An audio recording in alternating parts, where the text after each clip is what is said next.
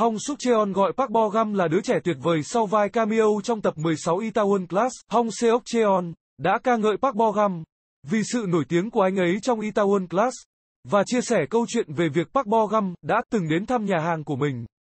Vào ngày 22 tháng 3, Hong Suk Cheon đã đăng lên Instagram của anh ấy hai bức ảnh chụp cùng Park Bo Gum. Bức ảnh đầu tiên được chụp khi Park Bo Gum đến thăm nhà hàng của anh ấy. Trong khi bức ảnh thứ hai được chụp cùng với quân Nara sau khi quay cảnh của họ trong Itaewon Class. Park Bo Gum cameo Itaewon Class tập 16 trong chú thích dài dòng của mình, Hong Suk Cheon tiết lộ, nếu tôi phải kể tên một người tỏa sáng rực rỡ, đó chắc chắn sẽ là Park Bo Gum, không nghi ngờ gì nữa. Anh ấy tiếp tục, Park Bo Gum đã xuất hiện đặc biệt trong Itaewon Class.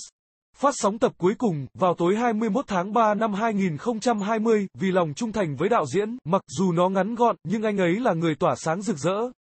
Hong Suk Cheon nói thêm, khi tôi nhìn thấy anh ấy lần đầu tiên trong một vai diễn nhỏ, tôi đã dự đoán rằng anh ấy sẽ làm cho vai diễn ấy lớn hơn. Hong Suk Cheon cũng tiết lộ rằng Park Bo Gum đã đến thăm nhà hàng của anh ấy với một người bạn. Hong Suk Cheon viết, tôi hỏi anh ấy rằng anh ấy có đi tàu điện ngầm không và anh ấy nói có. Anh ấy nói rằng anh ấy đi tàu điện ngầm thường xuyên vì nó thoải mái. Tôi nghĩ anh ấy là một đứa trẻ thực sự tuyệt vời. Hãy để lại bình luận của bạn. Nó sẽ giúp ích những người xem khác. Trân trọng cảm ơn quý vị và các bạn đã quan tâm theo dõi.